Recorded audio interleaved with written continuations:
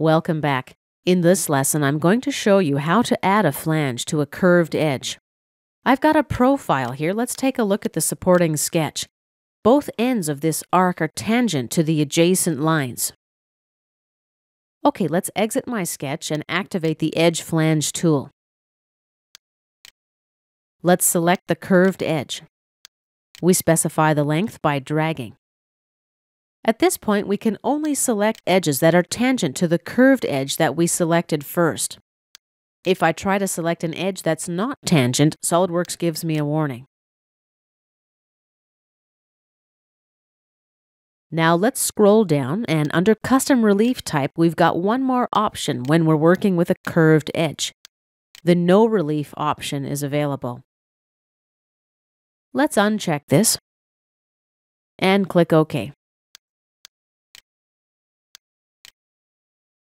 We can flatten this part just like a regular sheet metal part. This concludes our lesson on creating an edge flange on a curved edge.